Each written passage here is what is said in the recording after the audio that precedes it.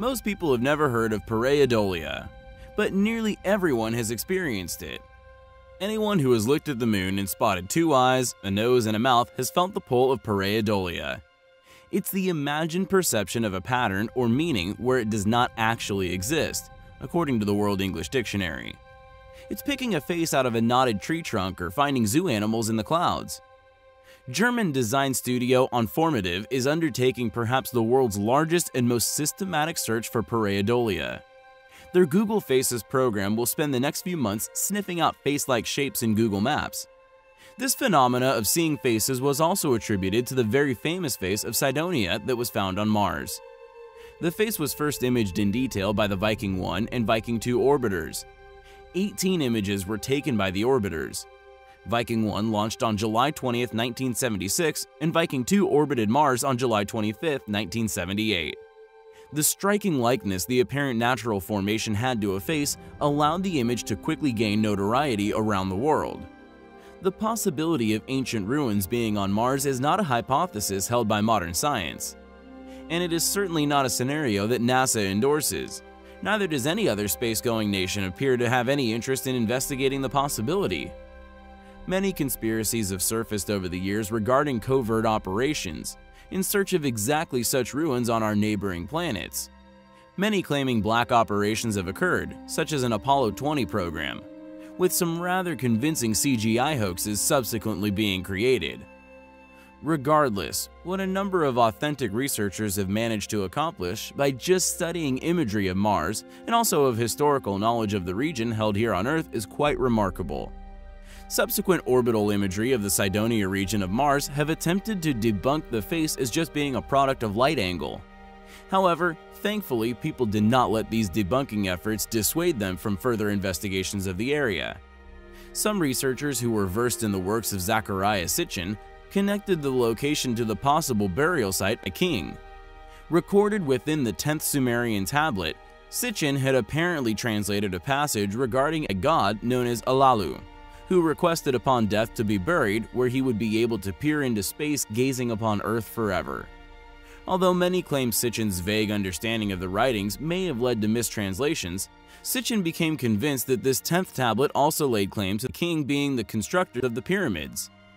People who knew these fragments of information actually connected a network of apparent extremely ancient pyramidal ruins resting very near to the face, these remnants of once great structures undoubtedly align with the star constellation of Pleiades. What is astonishing is that these ruins would not have been discovered without Sitchin's translations. Was Sitchin right all along? Is this really proof of ancient ruins on our nearest neighbor? The alignments are certainly compelling and must be more than just coincidence. As always, thanks for watching guys, and until next time, take care. China's Yutu-2 rover, currently exploring the surface of our moon, has exposed an intriguing discovery, a mysterious object that many are labeling the Hut. It is a cube-shaped curiosity, which oddly just appears to be resting upon the moon, as if once placed. In previous videos, we have examined similar anomalies many believe to be obelisks.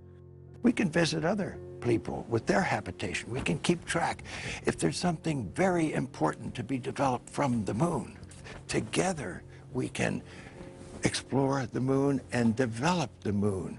We should go boldly where man has not gone before. Fly by the comets, visit asteroids, visit the moon of Mars. There's a monolith there, a very unusual structure on this little potato-shaped object that, that goes around Mars once in seven hours. When people find out about that, they're going to say, who put that there? With even Buzz Aldrin himself claiming there to be a monolith on Phobos, one of Mars' moons. And there is indeed a mysterious object resting on the surface of this mysterious satellite. A moon, which not only appears to be hollow from one side, but is on a decaying orbit which does not make sense almost as if it were a ghost of the past. Earthly calculations revealing that the Moon should have disintegrated into Mars long ago. Yet the Moon still exists, along with its mysterious so-called monolith. Yet I digress. The thing that makes these objects so interesting is how they seemingly appear to have once been placed where they have rested for untold millennia.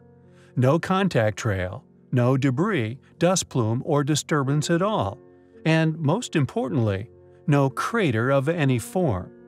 Unfortunately, however, according to Chinese space officials, it may be a long time before the rover reaches the object, if at all. One major reason is that Yutu 2 isn't active most of the time. The solar powered spacecraft cannot operate during the 14.5 Earth day long lunar night, nor for roughly 24 hours after sunrise and before sunset. Yutu 2 also stays offline during lunar noon, as temperatures at that time can reach 127 degrees Celsius. What is this object? Further photographic study and detailed research into its precise location needs to be undertaken. It is an object which we find highly compelling.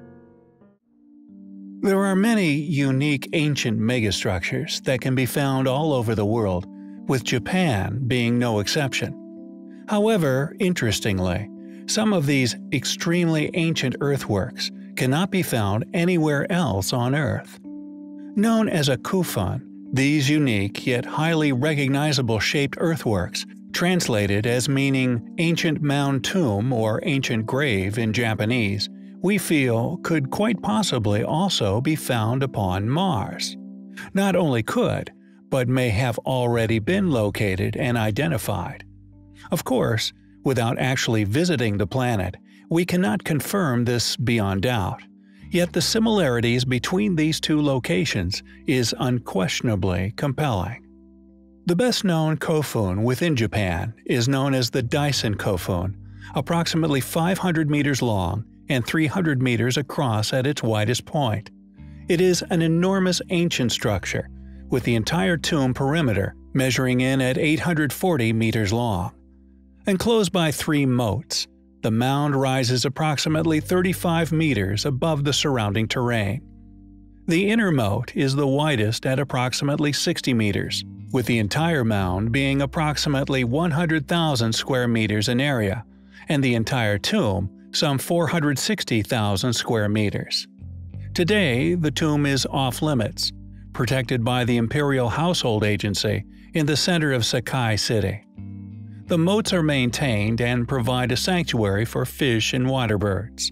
Although, conveniently, the mound itself has been left completely overgrown by vegetation, this regardless of the risk of deterioration by the roots of trees, along with the additional point of them being tourist attractions. One has to wonder whether this deliberate choice to leave them completely obscured by trees is actually an attempt to conceal their shape from the rest of the world. Why leave such clearly important ancient structures engulfed in trees, with root systems left to flourish that are notorious for destroying ancient structures?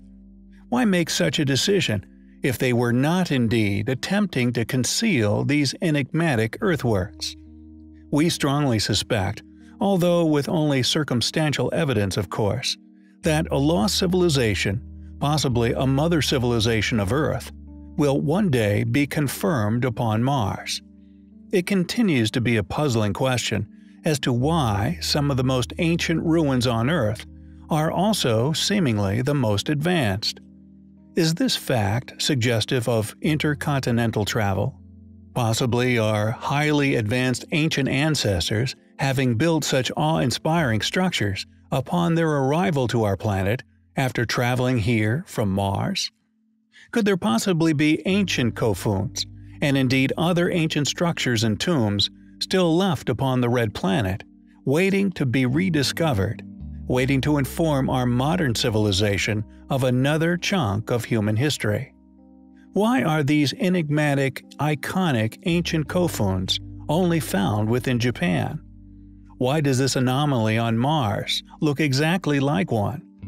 Why do the Japanese continue to conceal the kofun's true shape beneath dense tree lines. We find all of these suspicious factors highly compelling. Why did we never go back to the moon? Undoubtedly, man's greatest achievement, a feat which has apparently never been attempted again.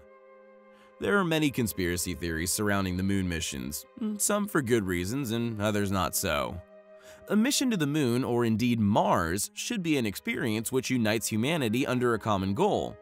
Yet, alas, this unity rarely occurs. It is a well-known fact that knowledge is power, yet unfortunately this fact can often breed deceit and deception. For it is believed by some that knowledge only makes one powerful when it is concealed from another, regardless of whether this always be accurate within reality. Because of this system of accumulating and protecting power, space-going nations have gone to tremendous efforts to conceal things from the public, and indeed each other. The United States government, for example, demands astronomers, astronauts, and many other workers at NASA sign an oath of confidentiality. Upon breaking this oath, you could face a conviction of treason, a crime which carries the death penalty. However, regardless of this, over the past few years, more and more individuals from around the world have bravely began to blow the whistle on these secrecies. Dr. Ken Johnston, former director of NASA's Department of Photographic Evidence, has stated that during his stay at the agency, he was able to see original photos of countless ruins, pyramids, and intact temples all resting upon the moon. Not only are there now a number of independent testimonies made by numerous figures from within these space agencies, and the accompanying programs, confessing to the concealment of ancient ruins on the moon's surface, but we also have compelling physical evidence of such structures, including photographs released by NASA themselves. One was snapped by the Apollo 17 astronauts in 1972. Subsequently uploaded to the official NASA website, it was originally labeled as overexposed. However, as technology has evolved and computer software has become more inept at refining images, it has revealed something amazing. Along with apparent pyramidal structure, clearly seen within this image, some investigators have also highlighted a possible monolith in the foreground. Was Space Odyssey trying to tell us something? Predictably, many people have come forward attempting to discredit this discovery. Yet fortunately for us, in the December of 2008, the Hubble Space Telescope took some extremely intriguing images of its own images which seem to corroborate the once overexposed Apollo photo. Do these images actually show ancient ruins upon the surface of the moon? If this is the case, how did they get there? Or more importantly, who could have built them? Are these relics proof of an ancient space-going civilization? Or maybe extraterrestrial activity? Regardless of how they got there, we find their existence highly compelling and could be perceived as a possible motive for turning the space programs into black projects. Maybe we did go back to the moon. It's just most were never told about it. After all, knowledge is power. Thanks for watching guys, and until next time, take care.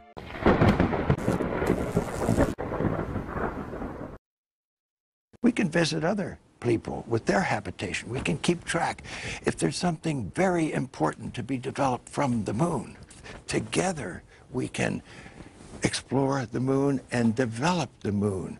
We should go boldly where man has not gone before. Fly by the comets, visit asteroids, visit the moon of Mars. There's a monolith there, a very unusual structure on this little potato-shaped object that, that goes around Mars once in seven hours. When people find out about that, they're going to say, who put that there? Who put that there?